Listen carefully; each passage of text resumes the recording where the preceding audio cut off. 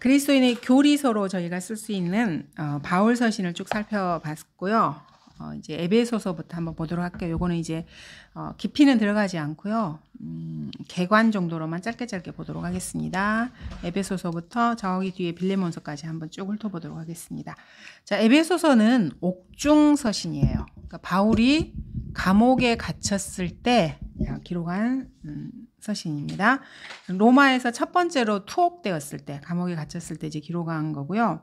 전체가 여섯 장인데 1, 2장은 예수 그리스도께서 우주의 정사와 권세 위에 계시다는 것을 말씀하고 계시고, 이제 예수님의 영적 지위, 그리고 지리적으로 주님께서 높은 위치에 있다는 것을 1장, 2장에서 지금 말씀하시고요. 그 다음에 3장, 4장에서는 교회의 신비에 대해서 나와요. 이게 사실은 되게 중요한 내용이거든요. 우리가 아, 그리스도인들을 그리스도의 몸이라고 말하고 그리스도의 몸된 교회라고 말을 하잖아요. 그 부분을 어, 3장, 4장에서 쭉 이렇게 나열을 하고 계십니다. 그래서 이 교회의 신비는 예수님의 다른 제자들에게는 계시가 되지 않았어요. 처음에는 이제 이스라엘을 대상으로 주님께서 사역을 하셨고 돌아가신 다음에도 부활하신 이후에도 이스라엘을 상대하셨기 때문에 근데 이스라엘이 예수님을 거부하면서부터 음, 이제 바울이 이방인의 사도로 지목을 받고 이방인들에게 복음을 전파하면서 이 교회에 관한 신비가 바울에게 계시대요. 그래서 바울이 이 은혜의 복음을 말하면서 음, 나의 복음이라고 말해요. 그러니까 다른 제자들에게는 다른 사도들에게는 계시되지 않은 것을 주님께서 바울에게만 계시를 해주셨거든요. 이것이 이제 그리스도인들이 어, 하나님의 몸이 되는 거죠. 예수 그리스도의 몸이 되는 거고 그리고 교회가 유대인과 이방인이 하나가 된다는 개념이 바울에게서 이제 완전히 딱 이렇게 드러난 거예요. 그 전에는 사람들이 이런 개념이 없었어요. 왜냐하면 유대인들은 선민의식이 있었기 때문에 하나님께서 이스라엘을 선택하셨다고만 생각을 하시는 거예요. 그러니까 그 이상을 못 나가는 거예요. 그 딱 틀에 이렇게 매여가지고. 그래서 이방인들에게도 하나님께서 복음을 이렇게 주시고 이런 것이 유대인들에게는 어마어마한 충격이었어요. 자기들이 선민이고 자기들이 그 온 세상에서 가장 뛰어난 민족이라고 본인들이 생각을 하고 주님의 사랑을 받는 민족이라고 생각을 했는데 자기들을 제껴놓고 주님께서 이방인들을 그렇게 대하신다는 건 유대인의 그 관념에서는 사고 체계가 완전히 깨지는 것과 같, 은 거거든요. 이제 저희가 이렇게 볼 때는 뭐 별거 아니라고 생각을 하는데 그 유대인들은 자기 자기 나름의 이런 몇천 년간의 역사 동안에 자기들의 생각이 있잖아요. 그러니까 선민의식이 아주 강한 민족이에요. 그리고 자기들만의 메시아를 기다리는 민족이고요. 그래서 유대인의 입장에 봤을 때 이것은 이방인들을 어, 유대인처럼 주님께서 사랑하시고 이렇게 아들로 삼아주시고 이런 그 개념 자체가 너무너무 놀라운 개념인 거예요. 유대인들은. 그래서 이들이 예수님도 사실은 잘 받아들이지 않고 바울을 그렇게 박해한 이유가 어, 그것 때문에 그래요. 어, 자기 민족과는 완전히 민족이 가지고 있었던 그 개념과는 완전히 다른 개념을 어, 전파했고 했기 때문에. 근데 이런 것들이 바울에게 계시되었다는 것입니다. 그래서 머리는 예수 그리스도이고 몸은 각 성도인데 이게 지금 3장 4장에 나와 있고요. 그다음에 5장 6장에서는 그리스도인 성도들의 실천적인 그 실제 행위와 관련된 지침들을 어, 주고 있습니다. 성도의 행위 그리고 저희가 저번에 살펴본 대로 영적 전쟁을 위한 구체적인 실천 사항들이 6장에 나와요. 그래서 하나님의 전신 갑옷을 입는 것에 대해서는 저희가 저번에 한번 살펴봤습니다. 어, 그래서 5장에서 이제 주님께서 사역자들에게 은사를 주시고 그리고 이제 보다 더 위대한 삶을 살라고 이렇게 명령을 주신 내용도 나오고요. 그리고 그리스도의 몸된 교회의 신비 속에 어, 주님께서 거기에 목적을 두고 행하신다는 그런 내용이 이게 쫙 나오는 것입니다. 그래서 어, 장수로는 여섯 장밖에 안 되는데요. 이게 되게 중요한 내용들이 많아요. 그리고 이제 1장 같은 경우에 보시면은 그 우리를 택했다는 표현이 계속 나와요. 하나님께서 음, 세상의 기초를 놓으시기 전에 우리를 택했다는 이런 표현들이 나오는데 여기가 이제 그 표현을 자세히 읽어보시면 1장 4절 같은 경우에 그리스도 안에서 우리를 택하셨다는 거거든요. 그러니까 내가 예수 그리스도를 선택해서 그리스도 안으로 내가 들어왔다. 그러니까 내가 먼저 구원을 받으면 주님께서 이제 그때부터 나에게 예정하시고 선택하신 것을 해주시는 거예요. 예수 그리스도의 형상과 일치되게 해주시고 하나님의 아들로 입양을 해주시고 여러 가지 약속을 베풀어 주시는 건데 그러니까 늘이 성경 구절들을 음, 인간의 개인적인 생각으로 잘못 풀이해요. 인간들은. 그래서 이제 장로교, 그러니까 칼빈이 장로교의 그 온조잖아요. 칼빈 같은 경우에는 이거를 어, 해석을 잘못해가지고 하나님께서 세상에 기초를 놓으시기 이전에 우리로 사랑 안에서 그분 안에 거룩하고 흠없게 하시려 그리스도 안에서 우리를 택하시어 이렇게 돼 있잖아요. 그러면 여기서 그리스도 안에서라는 말을 이 사람은 생각을 안 하고 하나님께서 세상에 기초를 놓으시기 전에 우리를 택했다 이렇게 생각을 한 거예요. 하나님께서 하늘과 땅을 창조하시기 전에 구원받을 사람과 구원받지 않을 사람을 미리 정해 놓으셨다. 미친 생각을 하는 거예요. 이걸 하나하나 제대로 보지도 않고. 근데 그리스도 안에서 우리를 택하신 거예요. 그리고 이 택하셨다는 말이 나오면 칼빈 주의자들은 무조건 구원에다 연결을 시켜요. 그래서 이 사람은 구원받을 사람, 구원받지 않을 사람. 그래서 예수님께서 십자가에서 피를 흘리신 것도 구원받을 사람을 위해서만 피를 흘렸다. 이렇게 거짓말을 하거든요. 근데 예수님께서 십자가에 피를 흘리신 것은 지옥에 갈 사람들을 위해서도 피를 흘리셨어요. 그러니까 모든 사람을 위해서 피를 흘리셨는데 그 사람이 거부했기 때문에 자기에게 적용이 안 되는 것 뿐이거든요. 그러니까 이거를 오해해가지고 아주 이단적인 그런 교리를 만들어냈어요. 그래서 장로교인들이 어, 깊이 들어가면은 정말 이거는 사탄의 교리예요. 그래서 그리, 사람이 예수님을 못 믿게 만드는 그런 장치를 이렇게 군데군데 기독교라는 이름으로 어, 마귀가 이렇게 만들어 놓은 겁니다. 그래서 사람이 의지를 쓰지 못하게 만들어요.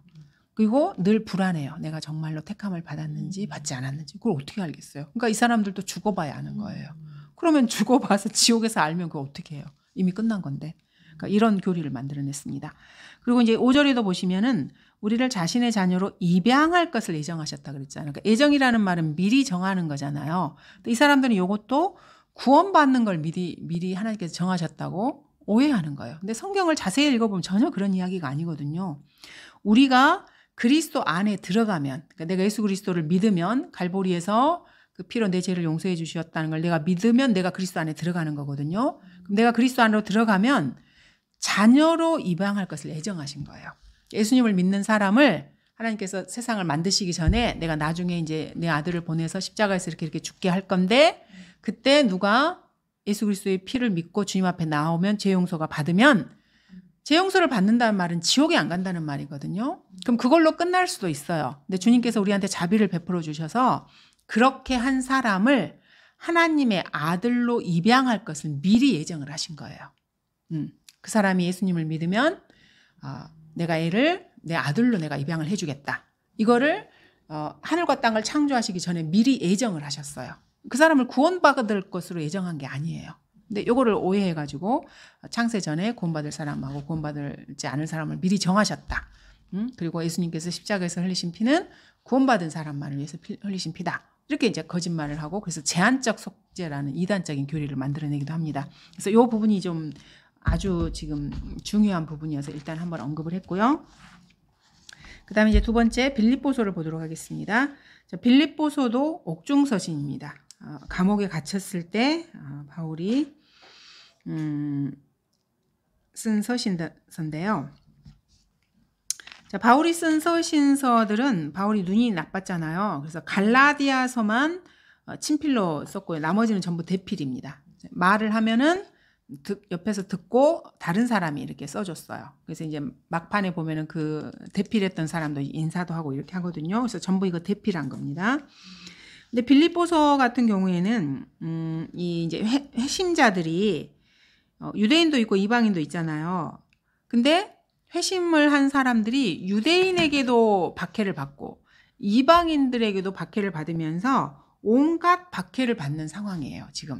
그러니까 유대인들이 아까 이제 자기들이 선민이라고 생각하고 이렇게 했기 때문에 예수 그리스도의 복음을 막 전파하고 이러는 것이 이방인들에게 이제 하나님의 사랑이 미치는 그 꼴을 못 보고 그래서 이렇게 박해를 하고 이방인 같은 경우는 우상숭배자들이잖아요, 전부 다. 거기서 이제 예수님을 믿고 나오면 자기들 종교를 이탈해서 이제 간 거잖아요. 그러니까 또 거기서도 박해를 받는 거예요. 그래서 성도들이 양쪽으로 박해를 받는 거예요.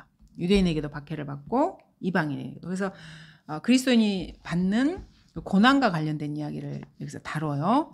근데 바울 자신도 지금 감옥에 있는 상황이잖아요. 이런 상황에서 계속해서 기뻐하라고 바울이 이렇게 말을 해요. 그래서 그리스도인들이 갖는 평안과 기쁨은 세상 사람들이 말하는 것처럼 일이 잘 풀려서 내가 기뻐하고 이런 게 전혀 아니라는 거예요. 어려운 상황 속에서도 어, 감옥에 갇혔어도 여러 가지 박해 상황에서도 내가 주님 한 분으로 만족하고 기뻐하고 평안을 누리는 것. 이게 진정한 그리스도인의 그 평안과 어, 인생이라는 것입니다. 그래서 1장에서는 고난 속에서 받는 음, 기쁨과 믿음에 대해서 나와 있고요. 그 다음에 2장에서는 또 고난 속에서 어, 겸손과 순종에 대해서 말씀을 하고 계시고요. 3장에서도 어, 고난 속에서 이 우리가 고난을 받는 원인과 목적을 3장에서는 말씀을 하고 계십니다. 그래서 이렇게 여러 가지 고난이 있고 이렇게 하는 게 우리가 육신을 신뢰하지 않게 하기 위해서 어, 그런 것입니다. 그리스도인들은 육신을 신뢰하는 삶을 사는 게 아니고 내가 육신은 죽은 줄로 여기고 어, 그리스도의 심판석을 이렇게 목표로 해서 어, 그것을 염두에 두고 어, 살아가는 삶입니다. 그리고 사장에서는 고난 속에서 어, 평강과 확신에 대해서 말을 합니다. 그리고 바울의 본을 따르지 않는 성도들을 어, 바울이 피하라고 경고를 주고 있습니다. 그래서 우리가 이제 어, 구원 받으면 형제 자매인 거는 맞아요. 근데 구원을 받고 나서도 육신적으로 살고 하나님의 말씀에 순종하지 않는 사람들은 사실은 같이 하면 안 돼요. 그래서 바울이 그런 사람들은 피하라고 명령을 하고 있어요. 음. 그래서 이제 보통은 뭐 형제 자매는 다 이렇게 뭐 받아주고 이렇게 어, 오냐 오냐 하고 이렇게 하는데 그렇지 않아요. 우리는 이게 우리의 기준은 하나님의 말씀이기 때문에 성도가 구원을 받고 나면 말씀대로 살 수 있도록 서로 도와주는 건 맞아요. 근데 상대방이 육신적으로 살고 나까지 육신적으로 살도록 이렇게 끌고 가고 이러면 안 되거든요. 그래서 이거를 딱 이렇게 어느 정도 선을 딱딱 지켜서 아닌 건 아니라고 하고 나를 세상을 향해서 살게 만들면 그 사람과 교제하시면 안 돼요. 음, 왜냐면 같이 하나님을 섬기기 위해서 우리가 지역교회를 하는 거지, 으쌰으쌰 모아가지고 세상으로 가려고 하는 게 아니거든요. 그러니까 요거를 잘 이렇게 생각을 해 보셔야 돼요. 이러한 어려움 속에서도 바울은 이런 고난 속에서 기뻐하라고 성도에게 명령하고 계십니다. 그리고 이제 빌립보서 같은 경우에 가장 이제 다 중요하지만 4장 6절, 7절에서 기도와 관련해서 어, 저번에 저희가 한번 살펴봤는데 다시 한번 읽어볼게요. 아무것도 염려하지 말고 다만 모든 일에 기도와 간구로 너희의 구하는 것들을 감사함으로 하나님께 알려지게 하라. 그리하면 모든 지각을 초월하시는 하나님의 평강이 그리스도 예수 안에서 너희의 마음과 생각을 지키시리라는 기도와 그 결과에 대한 약속을 아주 중요한 말씀이에요. 그러니까 실천적인 삶에 있어서 아주 필요한 말씀이고요. 그러니까 이 상황을 보면은 유대인과 이방인에게 동시에 지금 박해를 받고 있고 어려움 속에 있는 어, 빌립보 저기 교회 성도들에게 바울이 자기도 옥중에 갇혀 있으면서 이런 지금 말씀으로 권면을 하고 있는 거거든요. 그래서 이 당시에 어, 그리스도인들이 당한 그 상황을 좀 생각해 보시면은 어, 이 말씀이 그 쉬운 그 말씀은 아니라는 거를 저희가 이렇게 받아들여 줄 수가 있어요. 근데 그러한 상황에서도 아무것도 염려하지 말고 다만 기도와 간구로 너희 구하는 것들을 어, 감사함으로 하나님께 이렇게 알려지게 하면서 마음의 평강을 유지하고 이렇게 살아가는 거 이게 참된 그리스도인의 삶이라는 것을 어, 저희가 빌립보서를 통해서 어, 볼 수가 있습니다. 그 다음에 이제 골로새서를 볼게요. 골로새서도 4장밖에 되지 않아요. 되게 짧은 서신서거든요. 이제 골로새라는 말 자체가 뜻이 되게 특이해요. 이게 형벌이라는 뜻이에요. 음, 형벌이라는 뜻인데 이 서신서를 보면은 라오티케아 교회라는 말이 다섯 번이나 언급이 돼요. 그럼 우리가 저번에 이제 요한계시록을 살펴보았을 때 그 일곱 교회 중에서 라오티케아 교회가 제일 마지막 시대에 있는 교회였잖아요. 근데 이제 골로새서에서 다섯 번이나 라오티케아 교회라는 말이 언급된 것으로 보아서 이 골로새서는 어 그 말세를 당하고 있는 이 시대에 저희가 적용하기에 좋은 서신서라는 것을 그러니까 우리를 대상으로 해서 이렇게 말씀을 지금 하고 있다는 것을 이것을 통해서 우리가 알 수가 있습니다. 그래서 마지막 때 배교의 시대의 교회에게 어, 중요한 말씀이라는 것을 알 수가 있습니다. 그래서 라오티케아 교회라는 말이 다섯 번이 골로새서에서 언급이 되는데 성경에 이제 그 수비학이라는 게 있거든요. 숫자의 의미들이 조금씩 있는데 5라는 개념은 죽음과 관련된 숫자예요. 그래서 죽음을 상징하는 숫자인데 예수님께서도 그 갈비뼈를 찔리셨잖아요. 창으로. 그게 다섯 번째 갈비뼈가 찔리셨어요. 그리고 아담이 어, 아담을 잠재우시고 주님께서 그 갈비뼈 하나를 꺼내서 그걸로 이불을 만들었잖아요. 그 갈비뼈도 다섯 번째 갈비뼈예요. 그래서 아담이 잠이 들었다는 말은 사실은 죽은 거거든요. 그 아담의 죽음을 통해서 이부가 이렇게 나온 거예요. 이게 예수 그리스도의 죽음을 통해서 교회인 신부인 우리가 나오는 것을 예표하는 그림이거든요. 그래서 이제 음, 하나하나 이제 배우시겠지만 오는 일단 죽음을 상징하는 숫자라는 것입니다. 그래서 휴거 직전을 살아가고 있는 라오디키아 교회 시대에 우리에게 잘 적용되는 말씀이고 그리고 배교의 시대이기 때문에 종교적이면서 또 교육도 잘 받은 이런 지도자들, 그러니까 말세의 종교 지도자들, 교육 지도자들을 겨냥하고 있는 말씀입니다. 그래서 헛된 철학에 대해서도 어, 경고를 하셔요. 그래서 2장 8절에 보시면은 아무도 너희를 철학과 헛된 속임수로 노략질하지 못하도록 주의하라. 그것들은 사람의 전통과 세상의 유치한 원리에 따른 것이며 그리스도를 따른 것이 아니니라. 철학에 대해서 어, 주님, 어, 주님께서 골로새서를 통해서 이 말세를 살아가고 있는 우리에게 경고를 지금 하고 계세요. 그거를 어, 헛된 속임수이고 사람들을 노략질하는 것이라는 거죠. 그러니까 조심하라고 말씀을 지금 음, 어, 말, 말씀하고 계십니다. 그래서 골로새서는 이 시대의 성도들이 어, 적용하기에 참 좋은 말씀입니다.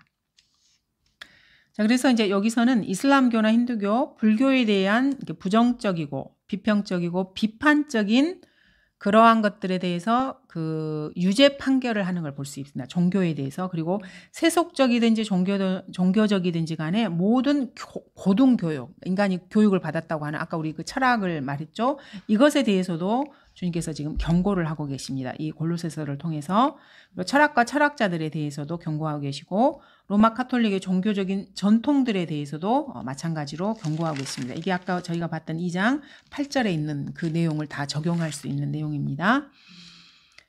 그리고 이제 불안정하고 쉽게 낙담하는 설교자들에 대해서도 주님께서 어, 이 골로새서를 통해서 말씀하고 계십니다. 4장 17절에 보시면은 내가 주 안에서 받은 직분을 주의하여 그러니까 설교자들에게 말하는 거예요. 그것을 수행하라고 아키포에게 말하라. 말세의 설교자들에게도 권면을 지금 하고 계시는 것입니다. 음. 그리고 3장 11절에 보시면은 스쿠디아인이 나와요. 3장 11절에 야만인이나 중간에 보시면은 스쿠디아인이나 종이나 자유인이 없고 오직 그리스도만이 모든 것이요 또 모든 것 안에 계시는 이 스쿠디아인이 러시아인을 말하는 거거든요. 그래서 성경에 러시아인도 나옵니다. 어쨌든 골로새서는 말세를 당하는 그 그리스도인들에게 어, 여러 가지 세상 그 풍조에 휩쓸리지 말고 세상에서 말하는 뭐 철학이나 과학이나 이런 데 휩쓸리지 말라고 경고하고 계시는 내용인데 그래서 그러면 그런 것을 하려면 우리가 어떻게 해야 되는가? 골로새서 3장에 보시면은 우리의 마음을 3장 1절부터 7절 보시면은 위에 있는 것들에 마음을 두라고 말씀을 하셔요. 자, 한번 읽어 볼게요. 어, 이렇게 해야 이 말세의 세상 풍조에 우리가 휩쓸리지 않는 것입니다. 그러므로 너희가 그리스도와 함께 살아났으면 위에 있는 것들을 구하라. 위는 여기 하늘나라 셋째 하늘을 말하는 것입니다. 셋째 하늘에는 우리 주 예수 그리스도도 계시고요. 천사들도 계시고 이 시대에 음, 먼저 어, 구원받고 간 어, 성도들도 있고 바울도 있고 그리고 이제 어, 구약 성도들도 지금은 셋째 하늘에 있죠. 다 주님께서 낙원에서 다 데리고 이렇게 올라가셨으니까 그러니까 이 셋째 하늘에 있는 위에 있는 것들을 구하라고 말씀하십니다. 그리고 거기에는 우리의 거처도 있고 새, 새 예루살렘 집을 주님께서 거기서 짓고 계시고요. 거기에는 그리스도께서 하나님의 오른편에 앉아 계시느니라. 위에 있는 것들에 너희 마음을 두고 땅에 있는 것들에 마음을 두지 말라. 자, 요 말씀대로 해야 이 철학이나 세상 풍조에 우리가 휩쓸리지 않는 것입니다. 이는 너희가 죽었고 또 너희 생명이 그리스도와 함께 하나님 안에 감춰졌기 때문이라. 우리의 생명이신 그리스도께서 나타나실 때 그때 너희도 그와 함께 영광 가운데 나타날 것이라. 이거 지금 저희가 휴거되는 거 말하는 거거든요. 몸이 변화되는 거. 그럼 우리가 그리스도의 주님도 나타나시고 그럼 주님 재림하시는 거잖아요. 그럼 그 전에 우리가 휴거되어서 그와 함께 영광 가운데 나타날 것이라고 말씀하십니다. 그러니까 그 휴거와 재림을 말씀하시면서 그러므로 땅에 있는 너희의 지체를 죽이라고 말하는 거예요. 우리가 그런 일을 성경을 통해서 이제 그런 일이 있을 것이라는 걸 알기 때문에 곧 음행과 부정과 사욕과 악한 세욕과 탐심이니 탐심은 우상숭배니라. 그래서 그리스도인에게 우상숭배는 탐심입니다.